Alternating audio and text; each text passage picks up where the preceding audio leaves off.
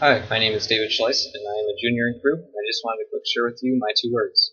So my two words are controlling and liberated.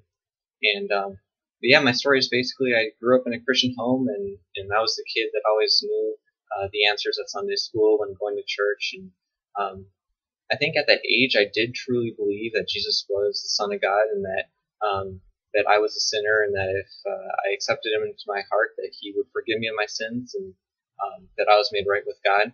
Uh, but I think as I started to grow up, I started to realize more what that meant on my everyday uh, life and in my actions. And so, um, yeah, in uh, middle school, I really started to uh, become controlling in the way that I did things. I became a perfectionist and everything, and I just expected all my um, plans to just go according to the way I wanted them to be. And uh, every time that they wouldn't go that way, I started to get these panic attacks, whether it was school or with uh, friends or whatever it may be. Um, I just started to really want to control and know what was going on um, at all times. And so uh, I think that I started to worry uh, when things wouldn't go according to my plan, and I started to be kind of um, I become kind of paranoid about making sure everything was right. And so in that way, it was um, sinning of just worrying so much about uh, just everything that was going on. And um, so, yeah, that's why my first word is uh, controlling.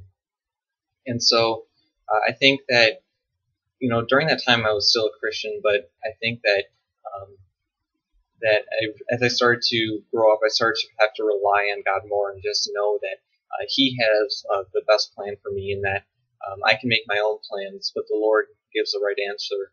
And so, um, just having to know that, having to trust in Him, and having to rely on God, uh, that really just started to become liberating for me.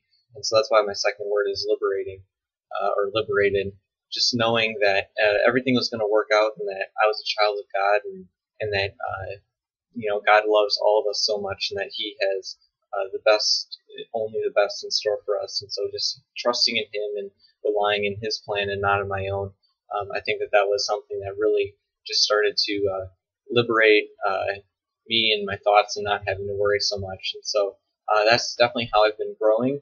Uh, there's still some times where I like to control uh, the things that are they're happening in my life, and so I'm still working on that. I'm definitely not perfect at it, um, but just throughout this process, I've just become more and more liberated, and um, just knowing that God has a plan and that His plan is better than mine. So uh, thanks so much for listening to my story, and those are my two words.